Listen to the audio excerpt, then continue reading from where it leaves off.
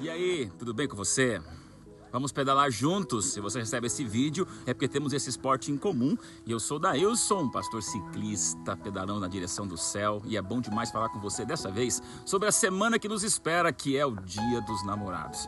A verdade é que namorar é fácil, o difícil é permanecerem amigos. E nos relacionamentos, gosto da frase que diz: prometer amar alguém por toda a sua vida é muito fácil. O difícil é amar este alguém a cada dia de toda a sua vida. É por isso que na Bíblia existe um texto fantástico, Provérbios 16, 9, que diz: Coração do homem traça o seu caminho, mas é o Senhor quem lhe dirige os passos.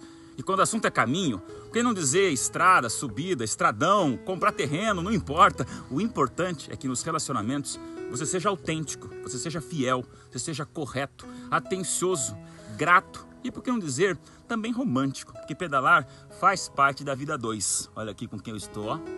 Minha esposa. E eu vou dizer para você, ó, já acertamos muitas contas nos pedais da vida, porque pedal também faz bem para o relacionamento de um casal.